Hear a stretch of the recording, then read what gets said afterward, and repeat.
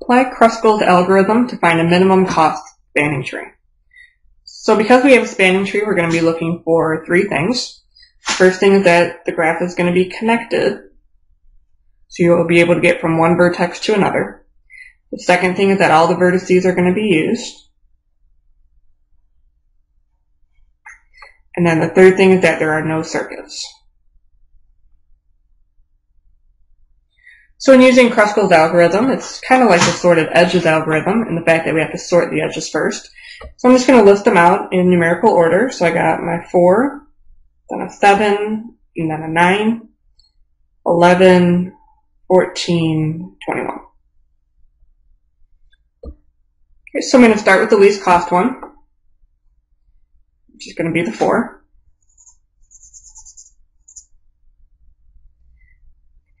If I use the 7, I'm not going to create any circuits, so that one's fine. If I use the 9, I'm going to create a circuit, so we're not going to use that. Okay, the 11 doesn't create a circuit.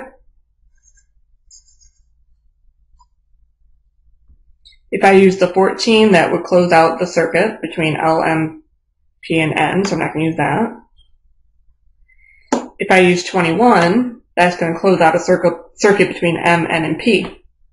So I'm not going to use that one. So let's see if everything works. So first of all, it is connected because I can get from L to M to P to N. They'll all be connected.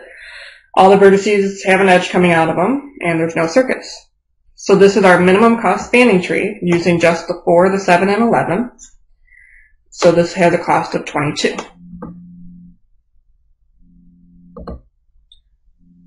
Look at another one. We'll do the same thing. Start by listing out the edges in order. So we have a 2, 3, 4, 2 fives, 6, 7, 8, 9, and 11. 1, 2, 3, 4, 5, 6, 7, 8, 9, 10. Okay, I got them all. So now we're going to do the same thing. Start going through them and use them as you can. So the first one will always be used. Okay, the second one would also always be used. You'll never make a circuit. Okay, number four will be used because it's not creating a circuit. It's okay to have more than two edges coming out of a vertex. Okay, we're not using sorted edges algorithm. we're not trying to create a Hamiltonian circuit, so it's okay to visit C more than once. Okay, we got a couple fives. If I use the five at the top, that's going to close out a circuit between A, B, and C. So I'm not going to use that. If I use the five between B and D, that's going to close out a circuit between C, B, and D. So I'm not going to use that. Okay, the next one is six.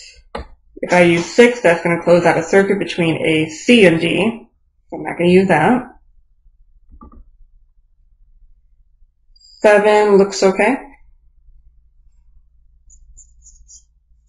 It's not going to close out a circuit anywhere because there's only one edge coming out of E.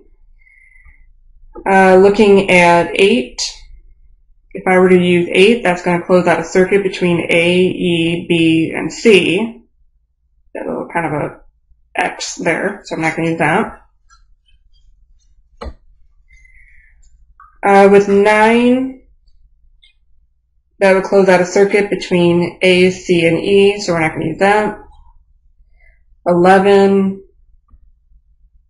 will close out a circuit as well.